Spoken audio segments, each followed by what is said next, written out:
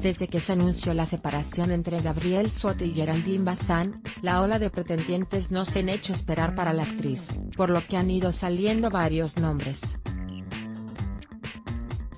Recientemente el hermano de Henry Rivera, Lupillo Rivera, quien le coqueteó a través de redes sociales, por lo que los comentarios no se hicieron esperar por parte de los internautas.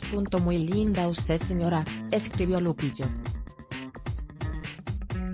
Ahora salió a frote otro nombre, se trata nada más y nada menos que del famoso cantante Víctor García, con quien trabajó en la novela Por Amar Sin. Pues al parecer con él pretende olvidarse de Gabriel Soto. Sin embargo, el mismo Víctor decidió hablar al respecto y confesó que es mentira, pues se encuentra disfrutando de su soltería. No, no, no, nada que ver, que tenga un romance con Geraldine Bazán. Ahorita me encuentro perfectamente bien solo. Creo que es momento para capitalizar todo el tiempo invertido, todo este trabajo.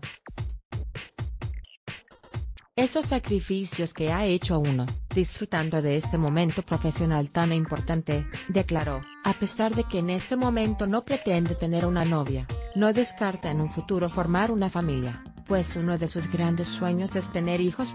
Mi sueño es quién va a ser mi pareja y mis hijos, eso sí, entonces, debo estar preparado económicamente y, en todos los aspectos, para poder tomar una decisión así, concluyó.